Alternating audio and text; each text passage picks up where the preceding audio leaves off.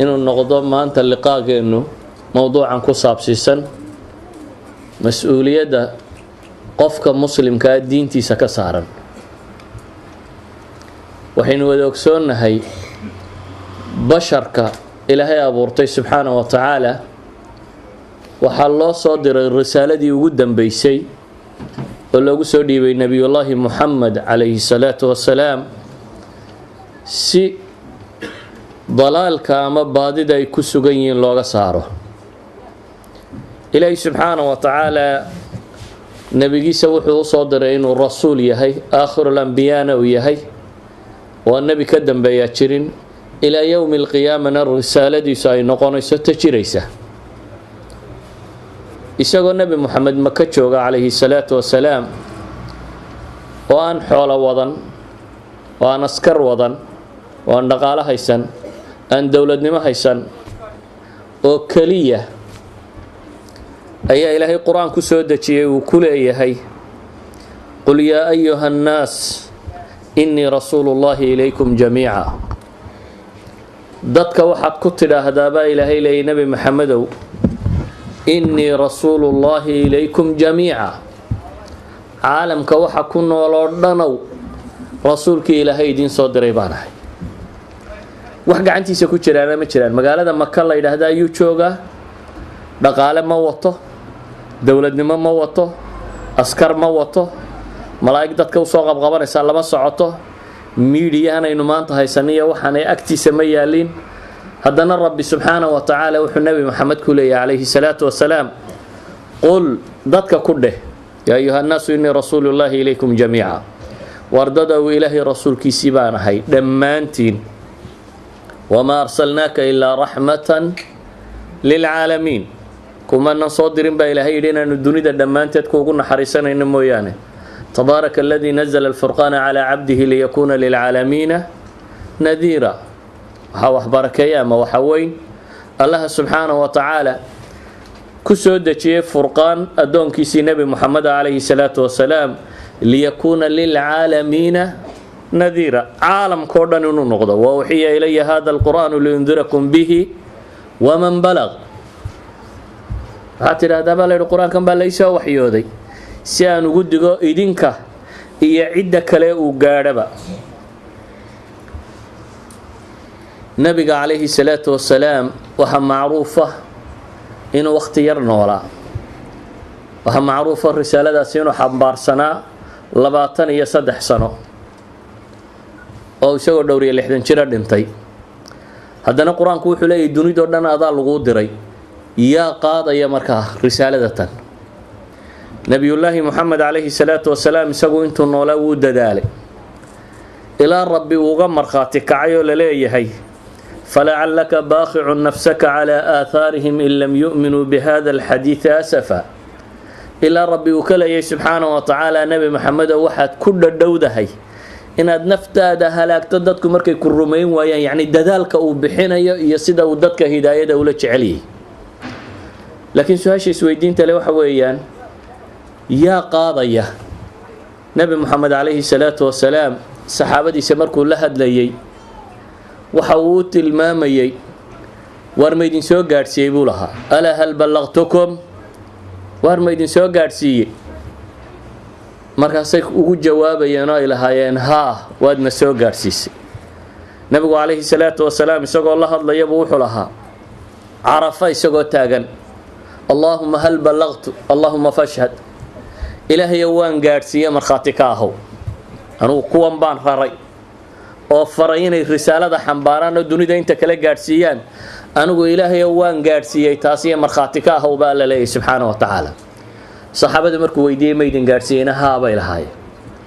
Xajatulwidaac markuu carafo sidan ka lahaa masjidu khiif markuu joogayna nebigu wuxuu lahaa ruba muballaqin aw caamin saamic. Waxaa la arkaa mid la gaadhsiiyey inuu ka weelayn bato midii dhegaystay. Yacni wuxuu nebigu u tilmaamaya calayhi salaatu wasalaam in ay muhiim tahay dadkii isaga la socday inay qaadaan risaalada tan oo dadka kale gaadhsiiyaan bale nebigu wuxuu ka gaadhsiiyey calayhi salaatu wasalaam xad uu u tilmaamo. Maalan khaybar ghaswatu khaybar. Dagaalkuu nebigu yuhuudda la galay ee meesha khaybar la yidhaahdo ay ku darireen. Khaybar waxaa ku yaalay qalcado ay nimanka yuhuudeed leeyihiin dabeetana waxaa adkaaday in la furto. Xusuuntaasi dhib bay ku noqotay in la furto.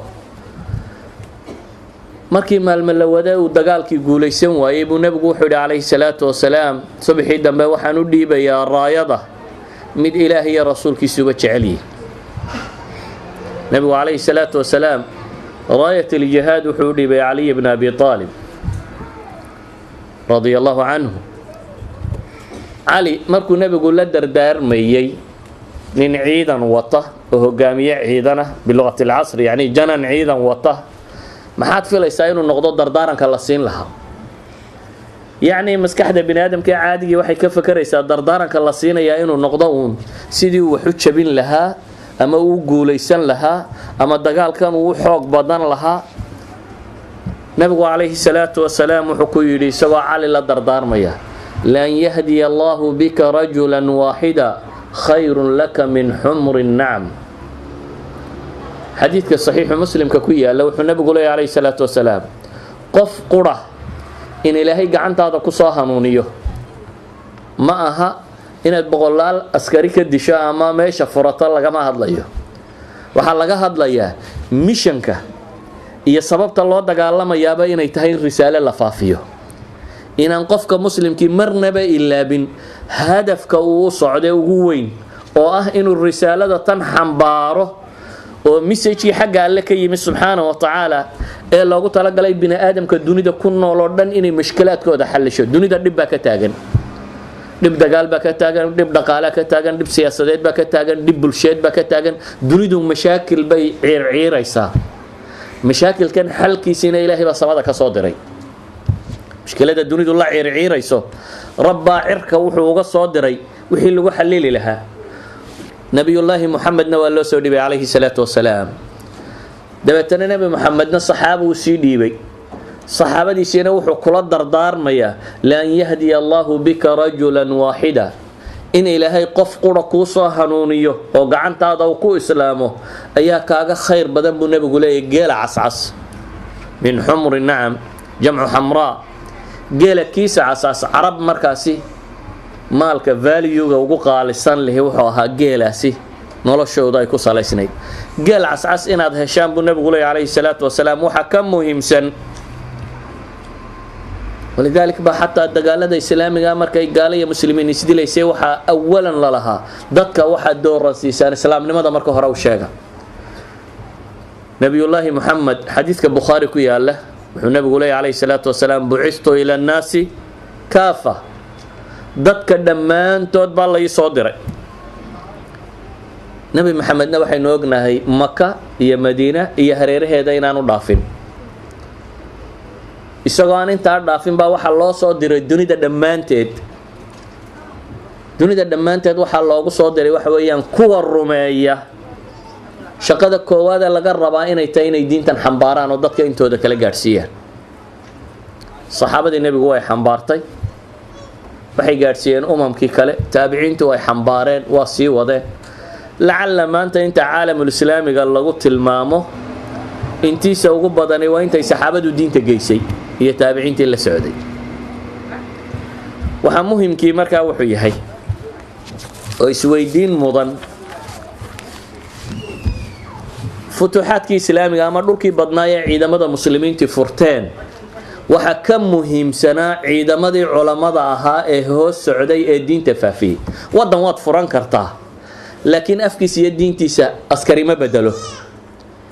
Dunidan muslimkaa waxaa diintooda bedelee gaadhsiiyey. Waxay ahaayeen jaxaafil min alculamaa. Dad culamo oo tiro badan oo saxaabo ah oo taabiciin ah ayaa dadka kan diinta soo gaadhsiiyey maanta se masaladaasi waxaad moodaa qofka muslimka ahi inuu dareenkaasi ka lumay. Maanta dunida bilyan iyo badh muslima ka badan baa dul saaran. Afartii qofe kastee muslimee dunida afartii qofe kastee bini aadamee dunida dul jooga halbaa muslima baa la leeyahy haddaynu dareenkan qabnaa inaynu diinta xambaaro qof iyo saddex unbaa bay nagu soo hagaagi lahaa dunida gebageedaba. Waliba inuu saddex islaamiyo dan aakare laguma rideen wax kalena laguma rideene sideeday muslim u noqon lahay haddii dareenku uu galo ummadda muslimka ah oo ah inay xambaaraan diinta tan oo ah wuxuu nebi moxamed baray calayhi salaatu wasalaam saxaabadiisii ah inay qaadaan oo diinta ummadda gaadhsiiyaan. Haddii dareenkaasi uu jiro waxaa isweydiinta leh innagu inta imisaynu muslim ahayn saxaabadiisa diinta faafisay imisay muslim ahayd. Nebi moxamed calayhi salaatu wasalaam saxaabadu markay u yimaadaan doctor cabdilwahaab turayri baa wuxuu tilmaamayaa alcamalu liddiin qariinu lintimaa'i ilayhi buu ahaa buu leeyay diinta in loo shaqeeyo oo mas'uuliyaddaasi la dareemaa waxa ay ku xidhnayd inuu qofku islaamo uun.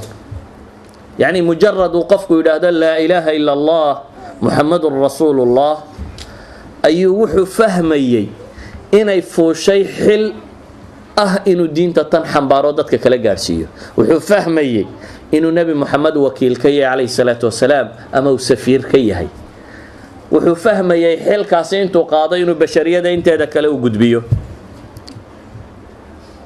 Basharku inta badan tusaalayaashii wax ku fahmaan. Tusaalayaal kooban bixiyo. Magaalada maka waxaa ku talagalay inuu iska soo cimraysto casriiljaahiliya waa la cimraysan jiray waayo xajka iyo cimrada iyo waa diintii nebi ibraahim ka tegey. Nin la yidhahdo tufayl ibnu camar iddawsi tufayl ibnu camar qabiilka dawsa la yidhahdo ka dhashay oo yaman iyo xaggan degi jiray. Tufayl ibnu camar wuxuu ahaa nin gabyaa ah oo xakiima oo oday u ah tolkii.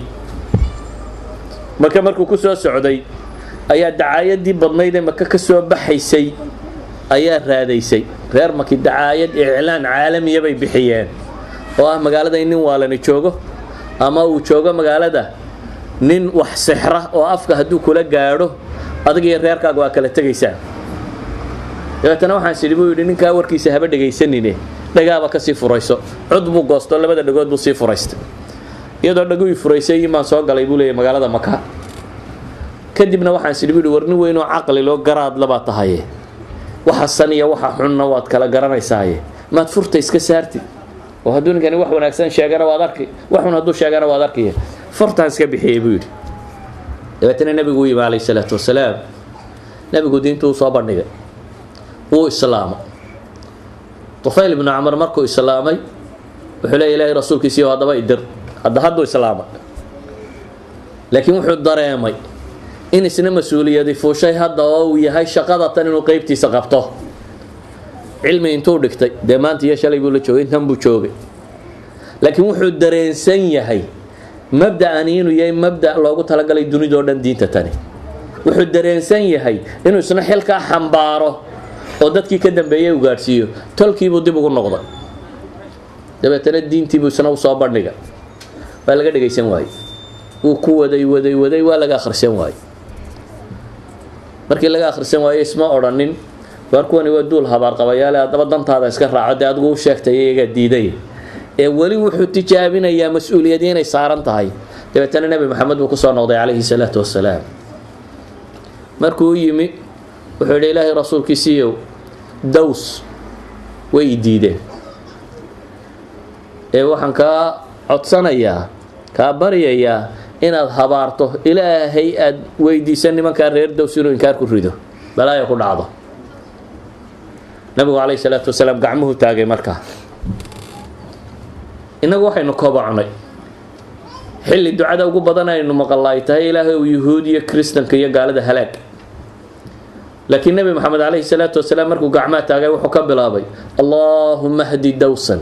Xadiidka bukhaari ku yaalla ilaahay ow reer dows soo hanuuni. Maalinna ma tidhaahdeen ilaahay ingiriiskan hanuuni.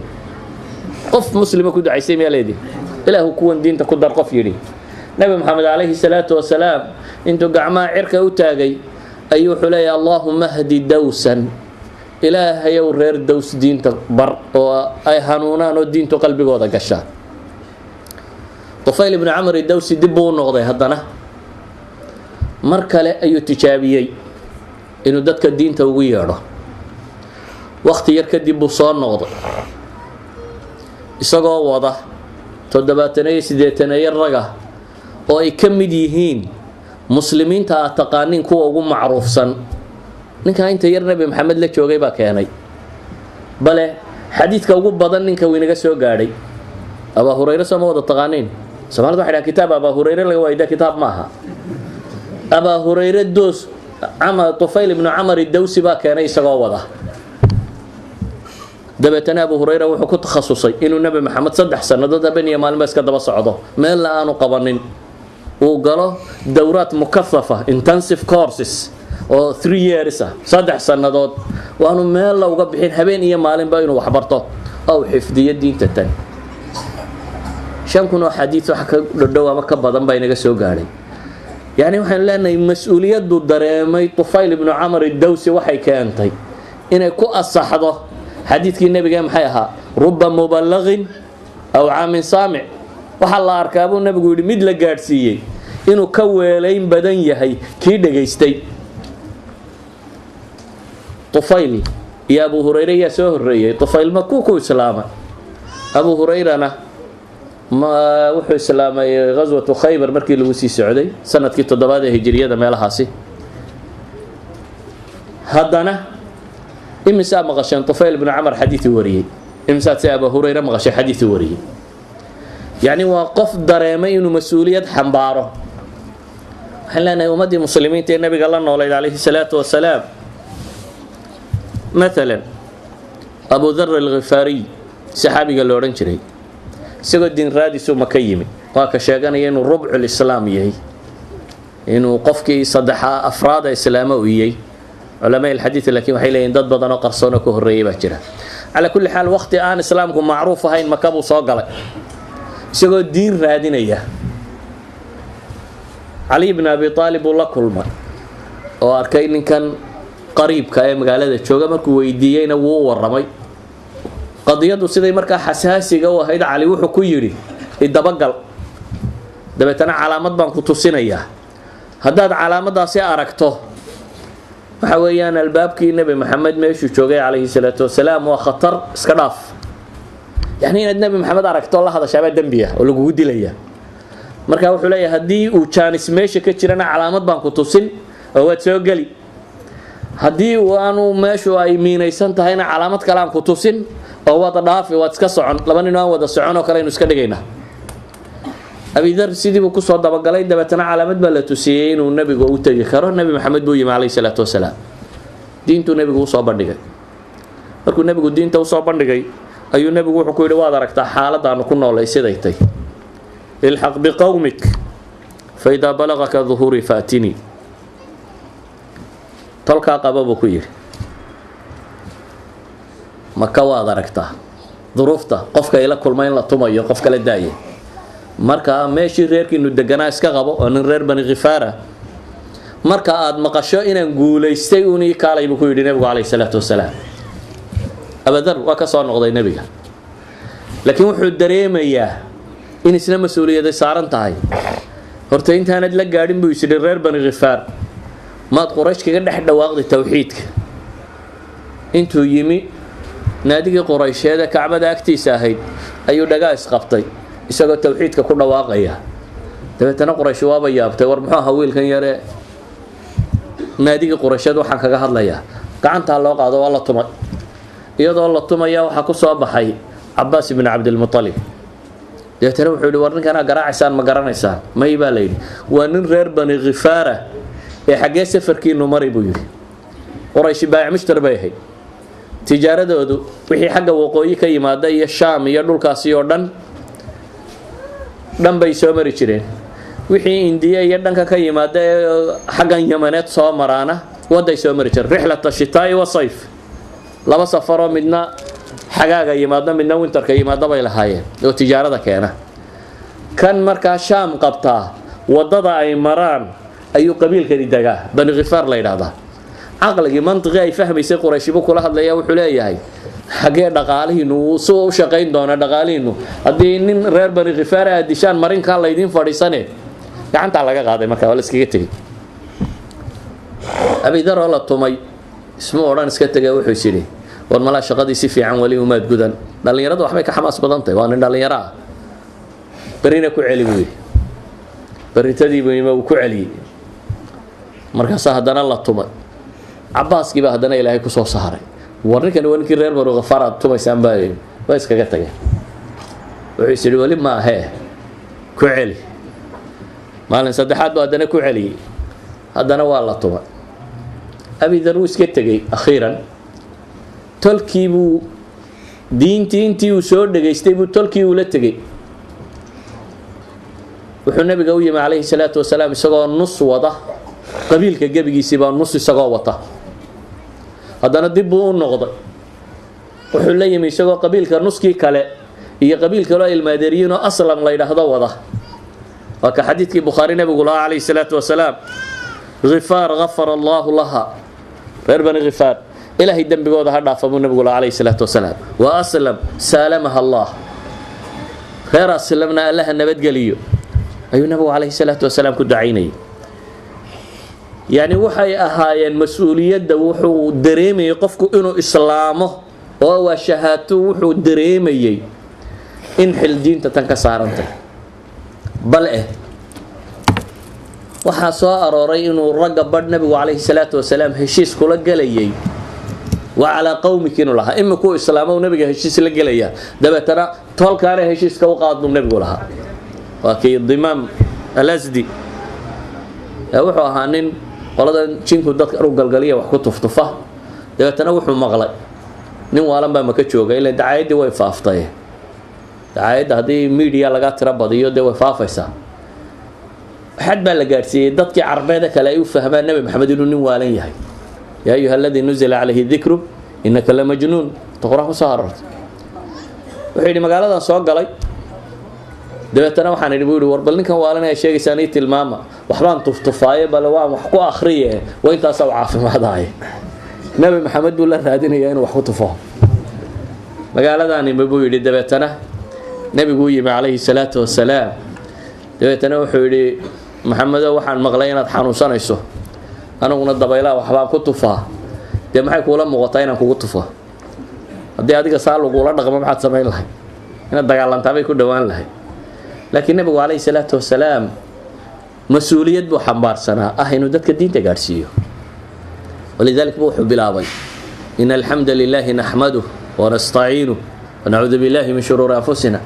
Wuxuu bilaabay khudbat alxaaja taqaanii uu dhegaystay dimaam alasdi dabeetana wuxuu yidhi aacidhaa calaya iigu celi mar kale. Markaasuu nebigu ku celiyey dabeetana wuxuu ku yidhi aacidhaa calaya mar kale ku celi markaasuu mar saddexaad ku celiyey laba waxba culammadu way tilmaamaan.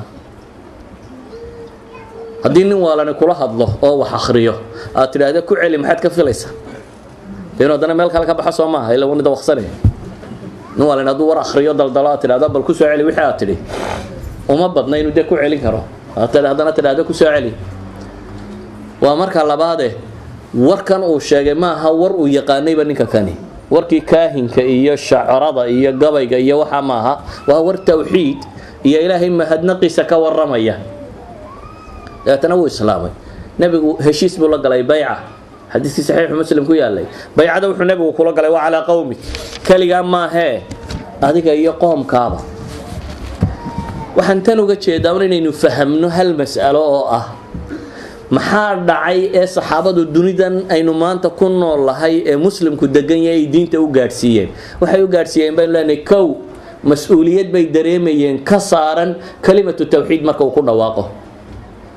Ma saxaabadii insiga ahayd oo qura? Maye xataa waa kuwii jinka ahaa.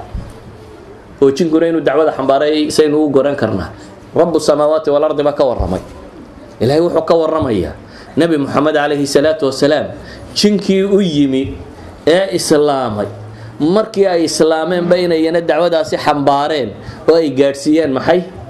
Qoomamkii ka dambeeyey waid sarafnaa ilayka nafaran min aljin yastamicuuna alqur'an falamaa xadaruuhu qaluu ansituu falamaa qudiya wallow ilaa qowmihim mundiriin falamaa qudiya.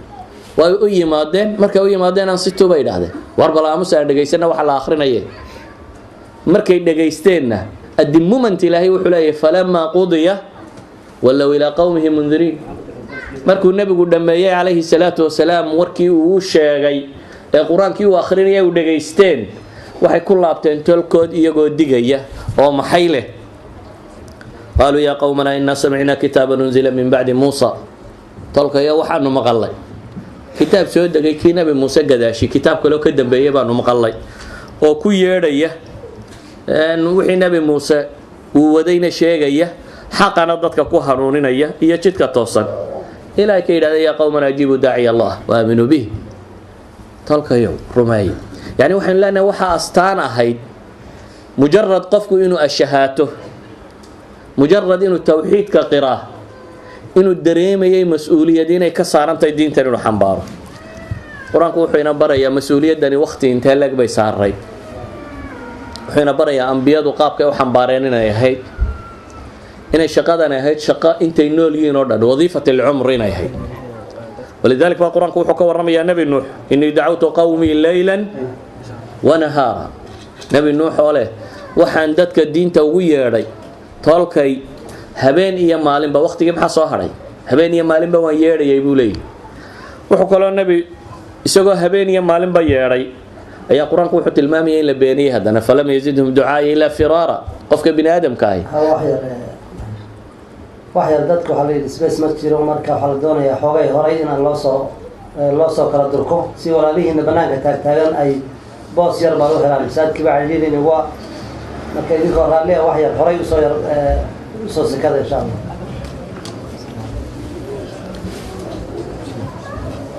qofka bini aadamkii haddii warkiisa la aqbalo nashiid buu noqdaa actifatu ka sii qaadaa markaad dad u yeedhee wax sheegtee lagu aqbalo waxaad noqonaysaa qof nashiid ah. Laakiin haddii lagu dhagooleeyo cidiba ku aqbali weydo bini aadamka waxaa lagu yaqaanaa inuu inta badan maxay inuu niyad jabo. Nebi nuux wuxuu leeyahay habeen iyo maalinba waxbaan sheegayay haddana wax sheegaygii wuxuu keensadun in layga sii cararo. Iyadoo sidaa looga sii cararayay ayaa qur'aanku wuxuu tilmaamayaa inuu isku dayay usluub kasta oo bini aadam uu adeegsado oo wax loo sheego uma innii dacawtuhum jihaaran uma innii aclantu lahum wa asrartu lahum israara ilaahay uu bulay kor iyo hoos iyo faqid iyo nooc walba oo bini aadam wax loogu sheego waan isku dayay buu leeya inaan wax ugu sheego muddadu intay leekay qur'aanku wuxuu tilmaamayaa alfa sanatin ilaa khamsiina caama shaqadaasi ah inuu maalin iyo habeenba waday usluub kasta oo wax loo sheegay inuu waxu sheegayay muddada uu waday. Time periodku warkaasi waday waxa weeyaan maxay? sagaal boqol iyo konton sannadood umaan sidaa waday buu leeyay innagu imisa inuu muslim ahay imisaad se dad diin ugu yaadha weli ma dareentay inaad muslim tahay inay xil ku saarayso inaad dadka diinta ugu yeedho mise waxaad salahayd aw fulaan baa magaalada jooga iyo sheekh cilaan wadaadaa jooga ama kan baa jooga. Dadkan hore waxaasi may aqoonin waxay yaqaaneen inay islaamaan. Walidalik baa qur'aanku wuxuu inoo tilmaamayaa ambiyadu. Dadka diinta waxay ugu yeedhayeen duruufta nololeede kasta ee lagu nooliyay. Qur'aanku wuxuu ka warramayaa nebi maxbuus ah oo xabsi ku jira oo haddana isagoo la dulmiyey oo madluuma oo maxbuusa oo aan wadankiisii joogin oo meel aan laga garanayn jooga haddana inaanu marnaba hilmaamin oo ilaabin mas'uuliyada inay dadka ka saaran tahay inuu diinta gaadhsiiyo wa dakhala macahu sijna fatayaan. Qur'aanku wuxuu tilmaamayaa nebiyullaahi yuusuf laba wiil baa xabsiga la galay. Qaala axaduhumaa innii araanii acsiru khamra. Midkood labadii wiil wuxuu yidhi waxaa layskay tusiiyey riyo yacni waxaan ku arkay isla anigii oo khamri casiraya ama khamri qooshaya ama majuujinaya ama wada. Ayaan arkay buu leeyahy kii labaadna wuxuu leeyahy iyadoo waxaa layskay tusiiyey iyadoo aan madaxa ku sido khubus kimis roodhi jabati waxaa anigoo madaxa ku sida ooshin baraka dul cunayaan. Nabi'na bitaawiilih inaa naraaka min almuxsiniin. Sharaxeeda nooga waran bay leeyihiin noo fasir. Waxaanu ku arkaynaa dadka wanaagsan inaad ka mid tahay. Laba shayba u fiirso waxay weydiisanayaan inuu wax u kordhiyo. Laakiin maxay u weydiisanayaan? Isagoo maxbuusa oo boqorku soo xidhay oo aan qabiilkan ka dhalan oo waxba la wadaagin oo wadankiisii joogin. Waxay u weydiisanayaan waxay leeyihiin qof muxsina baa waa qofka muslimkaa dhaqanka lagu yaqaano qofka muslimka ahi waa samajiri waa muxsin waa qof wanaagga ka shaqeeya xataa qur'aanku wuxuu inooga warramayaa nebi yuusuf boqorkii soo xidhaya gaalka ahaa markay u baahdeen aqoontiisii inuu ku caawiyey. Nebi yuusuf oo xabsiga ku jira waa kii boqorku riyooday riyadii wax fasira la waayey. Markii loo yimi muu odhanin war naga taga idinkiina xidhay. Xabsi abaanu idinku jirna maxaa riyadiinana daba dhigay. Kuma odhanina wuu u fasiray wuu u sheegay. Bale wuxuu u dejiyey uu uga warramay khito shan iyo toban sannadood ah oo dhaqaalaha waddanka lagu badbaadinaya gaal iyo muslima dhaqaalaha waddankan boqorkani xukumo. Qaabkii loo badbaadin lahaa buu uga warramay idan muxsin buu ahaa. Nebi yuusuf jaaniska markuu helay muxuu sameeyey? Qaala laa yaatikumaa طacamin turzaqaan ilaa naba'tukumaa bitawiili wuxuu leeyahay awalan wuxuu tarkiizinaya si fiican u rabaa inuu uga dhaadhiciyo inay meeshii ku habboonayd su'aasha in la weydiiyey inay yimaadeen. Wax raashinayday inma imanayaan buu yidhi ilaa iyo waan idiin sheegayaa ta'wiilkiisa. Weliba wuxuu leeyahay dalikumaa mima callamanii rabbi. Arrinka kani wuxuu ka mid yahay in waxyaabaha rabbiga i baray. Dabeetana intaanu fasirin ayuu wuxuu ka warramay muhimadii uu u noolaa oo ah dadka inuu towxiidka gaarhsiiyo innii taraktu millata qowmin laa yu'minuuna billahi wahum bilaakhirati kaafiruun. Wuxuu bilaabay intaanu waxba fasirin. Jaaniskaa yare loo baahday. Ayuu rabaa inuu dacwadiisa dhiibto waxaan ka imi buu yidhi duul aan ilaahay iyo aakhira tooran rumaysnayn. Watabactu millata aabaa'i ibraahim. Waxaanan raacay miladii iyo diintii aabbayaasha iyo nebi ibraahim iyo isxaaq iyo yacquub ay haysteen. Waana ilaahay subxaana wa tacaala wuxuu nagu galladaystay oo ah inaanan ilaahay cidnaba ugu shirig yeelin. Kadib buu iyaga haddana su'aal weydiinaya wuxuu leeyay yaa saaxibaya sijn a arbaabun mutafariquuna khayr am illaah alwaaxid alqahaar war labadan maxbuusow buu leeyahy ma rabbiyo badan in la caabudaabaa khayr badan mise allaha kelida ah subxaana wa tacaala.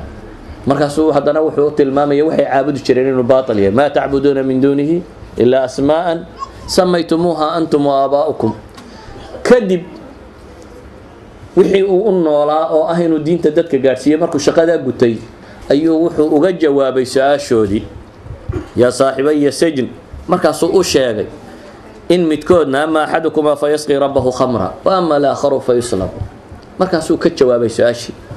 Maxaan uga dan leeyahay? Waxaan uga dan leeyahay inaynu dareenno. Innagu inagoo xor ah oo dhaqaalo haysanaa oo wax walba haysanaa oo awoodna inaynu dadka diin u sheegno ayuunba afka layna xidhay oo inan rumaysnayn inaad mas'uuliyaddani ku saarantay. Aada rumaysantuun adigu wallaahi haddaad shan salaadoodba tukatay oo soontay muslim dee ka koowaad baa tahay baad rumaysantay maahe nebi maxamed wuxuu leeya allahuma hal ballaqtu dadku lahaa unbaad ku jirtaa ilaah waan gaadhsiiyey markhaati ka ahaw waxaad ku jirtaa un dadka aakhiro la odhanayo maxaa dadka kale ku samayseen? Ma gaadhsiiseen idinkuna ilan risaaladii ilaahay samada ka soo diree dad oo dhan loogu talagalay. Inta madmadow carabta looguma talagelin bashar oo dhan baa loogu talagalay. Ayaad rumaysantahay oo sidaa haddana ma awoodid inaad deliver garaysid inaad dhiibtid ma awoodid. Waxa uu qur'aanku ina barayaa ambiyadu siday u dhaqmi jireen. Maalan ilahay wuxuu ka warramayaa nebi naftu ka sii baxayso laakiin aan shaqadaa ilaabin haddana am kuntum shuhadaa id xadara yacquuba almowt id qaala libaniihi maa tacbuduuna min bacdi miyaad joogteen baa la leeyahy subxaana wa tacaala markii nebi yacquub geeridu ay u timi nebi yacquub markay geeridu u timi maada facal muxuu sameeyey ilaahay wuxuu leeyahy subxaana wa tacaala id qaala libaniihi maa tacbuduuna min bacdi markuu ku lahaabaa ilaahay leeyahay caruurtiisii war aniga gadaashay maxaa caabudi doontaan. Yacni wuxuu hubinayaa towxiidkii sidaa looga qaatay iyo diinta waxay ka yeelayaan caruurtiisi ma hubinayo ma weydiinayo. Xoolaha saa odhan doontaan iyo reeraha saa u dhiqi doontaan iyo maxaa qaban doontaan ee wuxuu weydiinayaa maxaa towxiidka ka samayn doontaan. Markaasaa waxay leeyihiin waxaanu caabudi doonaa ilaaha kelida subxaana wa tacaala. Cidna ku lamaanayn mayno waxaynu ognay nebi moxamed calayhi salaatu wasalaam isagoo intaa dacwo sheegaya haddana markay naftu ka sii baxaysay weedhihii ugu dambeeyey uu lahaa waxaa ka mid a allah allah asalaa asalaa wamaa malakata iimaanukum nabigu calayhi salaatu wasalaam diin iyo dacwu ka dardaarmayay isagoo ay naftu ka sii baxayso. Waxaa laga yaabaa dadka badhinay isleeyihiin oo ma adigu ma cilmi badan baad le oo yaa cilmi kale ku weydiiyey towxiidka soo ma taqaanid?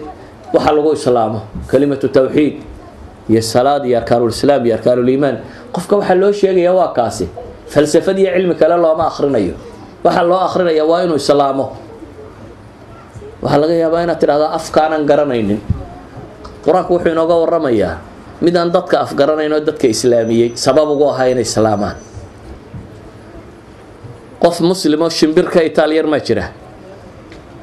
Qur'aanku wuxuu ka waramayaa shimbir sababtay in ummad dhame ay islaamto maca boqoradoodii ilaahi subxaana wa tacaala qur'aanka wuxuu kaga waramayaa shimbir hudhud la yidhaahdo.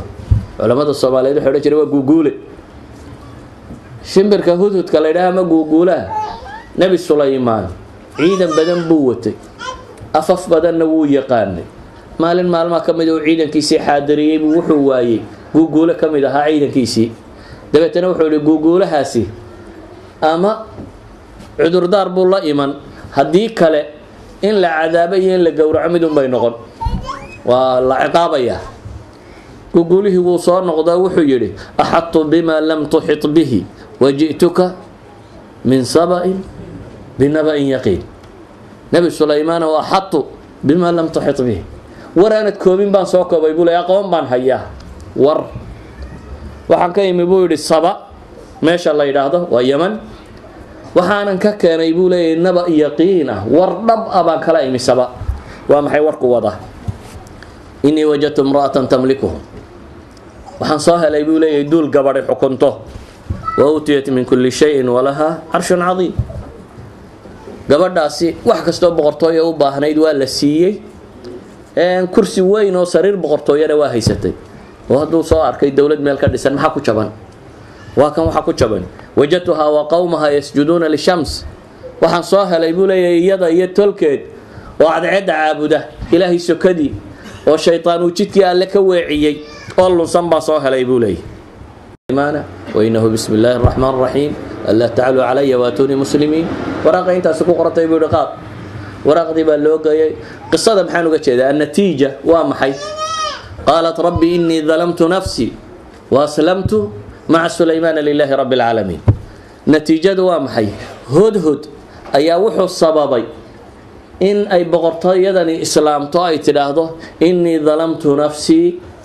Ilaahayow naftayda waa dulmiyey. Wa aslamtu maca sulaymaana lilaahi rabbi alcaalamiin hudhudku shaqadu qabtay waa maxay? Wuxuu gartay isaga iyo qoladan inaanay safgaranaynin xataa hadduu tawxiidka u sheegi lahaa.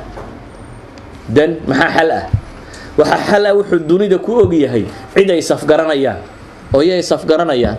Qur'aanku waa ka tilmaamaya inuu nebi sulaymaan lahaa yaa ayuha nnaasu cullimnaa mantiqa tayr. Nebi sulaymaan khudbadiisii waxaa ka mid ahayd dada waxa nala baray afshimbireedka nebi sulaymaan afshimbireedku yaqaanay.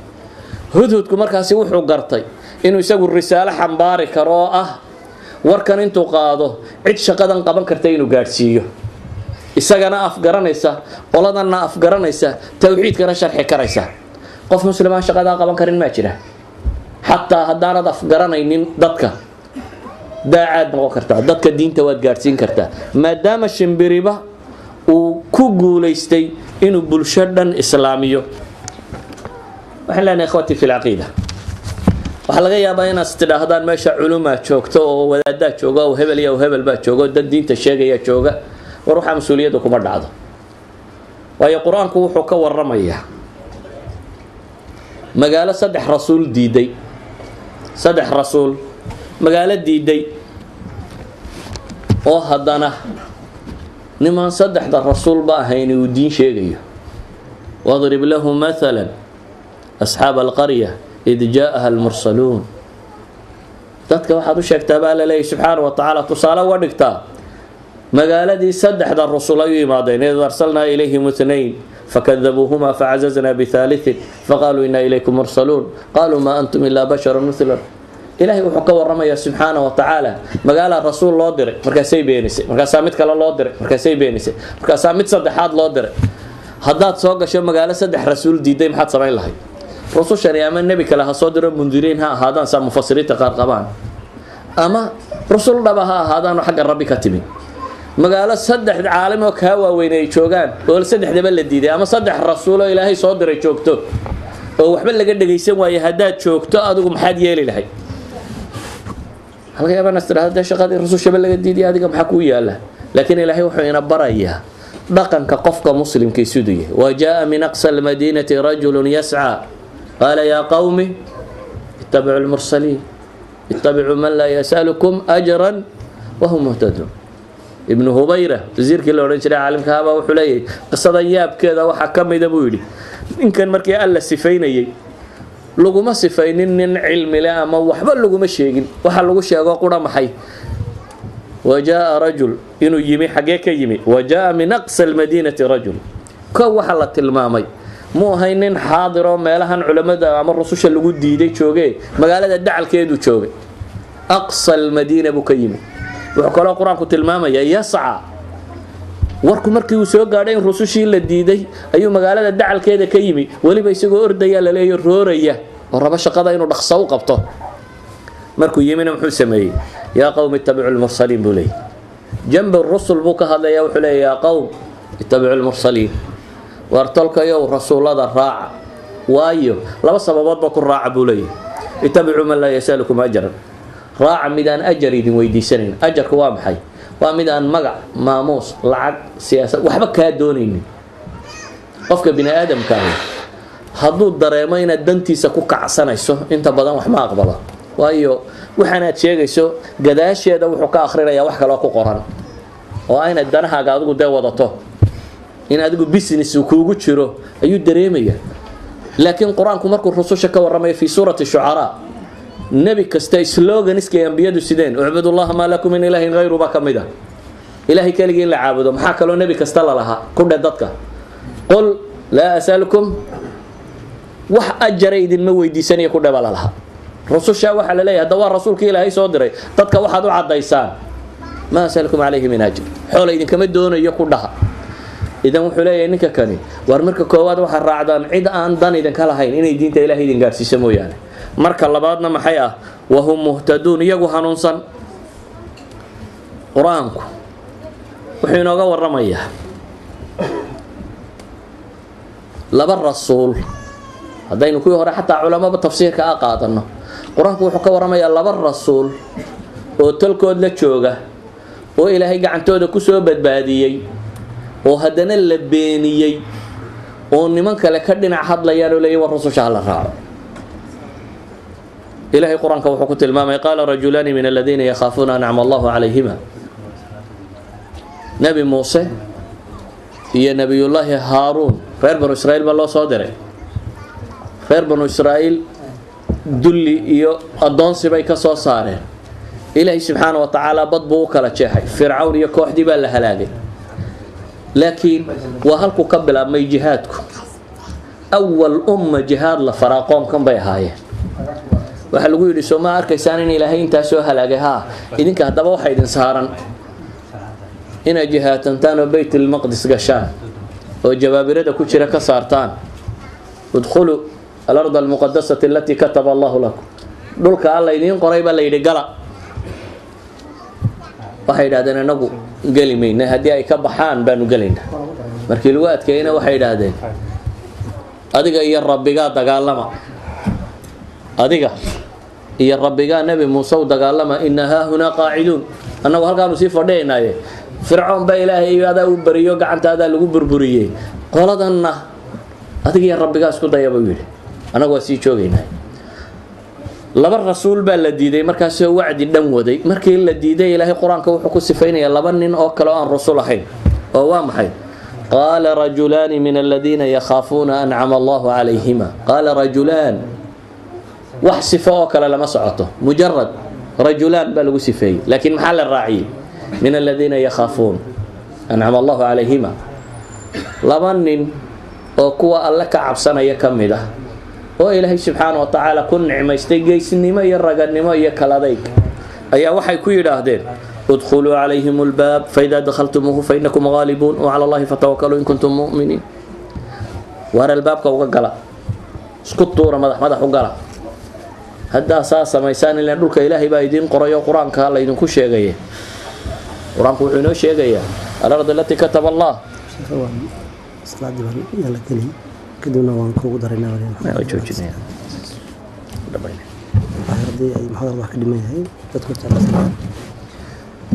Waxaa lagu yidhi gala. Qisadoo dhan waxaan uga jeedaa waa laba nin oo laba rasuul oo la beeniye ka dhinac hadlaya. Waxaan ku soo koobayaa dariska dhammaantii. Nebi moxamed calayhi salaatu wasalaam goormaa rasuul laga dhigay. Markiise rasuul laga dhigay imisuu xambaarsanaa iqra bismi rabbika aladii khalaq. Waa maxay? Waa nebinimadii.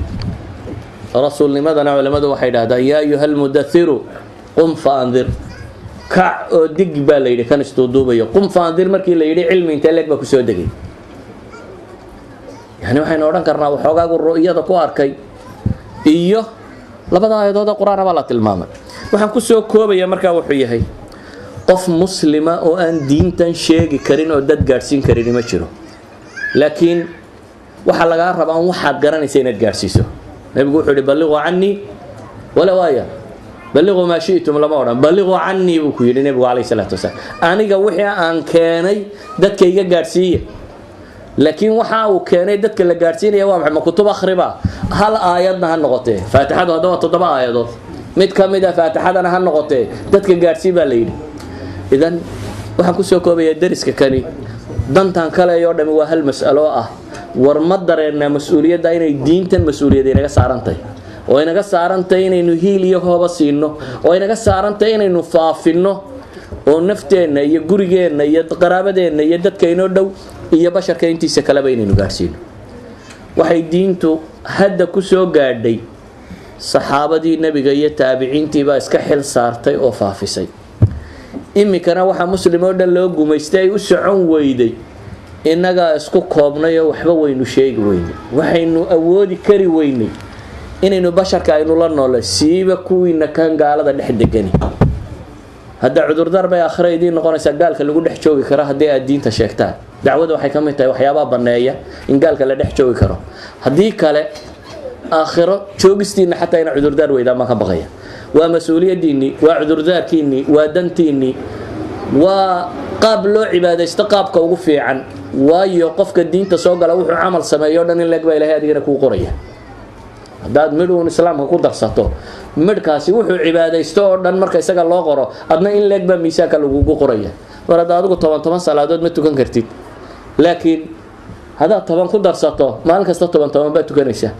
Haddaad rabto markaa in ajarkaagu bato oo aad aakhiro badbaado oo aad nebi maxamed safiir rasmiya ka noqoto ilahay diintiisa hala faafiyo. Sala allahuma calaa nabiyi maxamedi wcala ali saxbi wasalam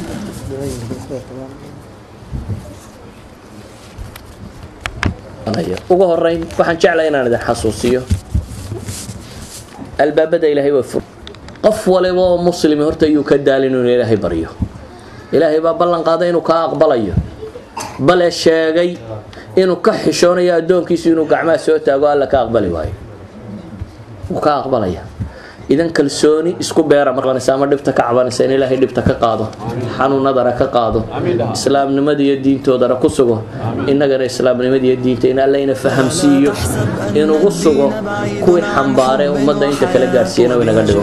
Sala allahuma calaa nabiyi maxamed